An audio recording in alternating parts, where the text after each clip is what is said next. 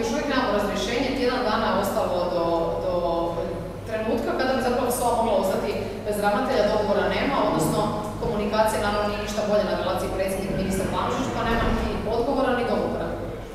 Nažalost, svjedoci smo da to traje već godinu i nešto dana, da nemamo gdje se događa brutalna agresija Rusije na Ukrajinu, da mi nemamo prvog čovjeka vojno sigurnosne obavještajne službe, to je nedopustivo. Ali samo ću uzeti za primjer dva ega koja se svađaju i ne mogu se dogovoriti oko jako bitnih stvari, zapravo temelj svake države su i obavještajne e, službe, i civilna i vojna. E sad uzmite samo za primjer, probajte zamisliti da imamo dva čovjeka koji su dali sve za ovu Republiku Hrvatsku kad je trebalo dati, kad je bila stvar. Da imamo dva čovjeka koji su bili ili generali ili zapovjednici ili su se borili u ratu. Ja vam garantiram da bi se dogovorili u minuti prije godinu dana.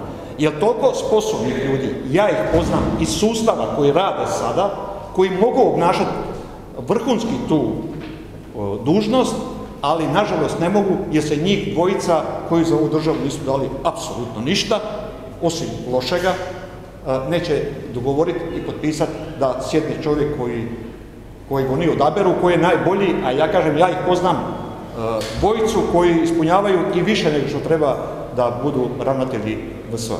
Osim što je ugrožen zapravo sam sustav, koliko to nije fair ni prema generalu Kinderu, a niti prema osobi koja se sad spominje kao potencijalni uh, nasljednik, dakle nekako se igra njihovim, njihovom sudbinom, nekakvom profesionalnom, a ovdje ne da nema dogovora, nego nema ni komunikacije nikakve, dakle odbijaju uopće komunicirati.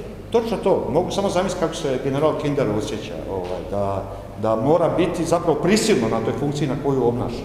Ja mogu misliti, ili ove ljude koje vuku izvlače kao moguće nasljednike gdje ih se provlači i, kroz med...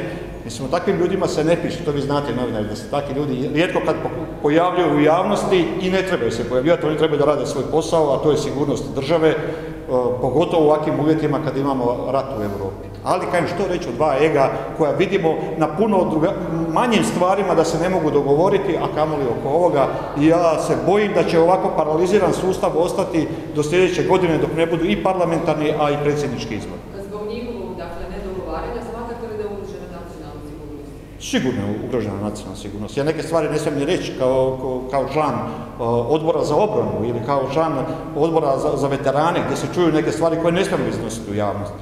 Ja sam jedan put pitao i ministra Banožića, ništa ne sugerirajući, rekao sam koliko Hrvatska ima streljiva, topničkog streljiva, za koliko dana rata, za koliko dana rata.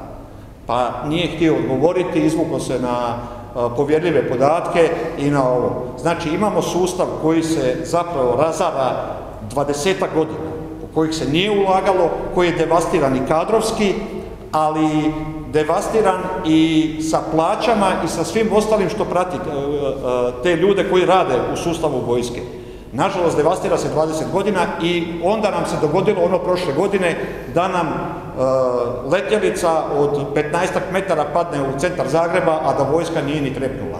Tu se vidi da, da u sustavu vojske nešto neštima. Zbog čeg neštima? Ne zbog vojnika, ne zbog zapovjednika, nego zbog politike koja ih je zapravo 20 godina gušila i nisu im davali niti da kupuju novu tehniku, niti da opremaju vojsku, a nisu im dali niti plaće. Vjerujte mi, ljudi mi se mailovima javljaju svakodnevno da napuštaju vojsku, odlaze van. Prijatelj moj, specijalac u policiji, dao je otkaz, otišao je van. Evo, neki, jučer se kad sam se vraćao iz Vukovara prema Zagrebu mi poslao Pa to je da se zamisli e, i premijer i predsjednik države što se događa u sustavu u, u, u policiji, a i u vojsci.